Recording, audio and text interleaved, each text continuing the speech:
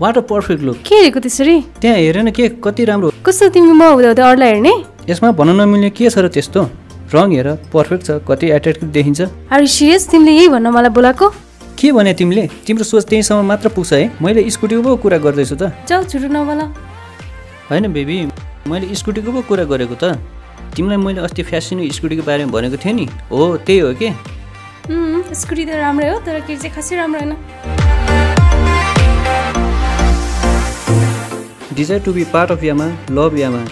Grieves your heart with thunder. Yes, yes Yamaha. Yes, Yamaha.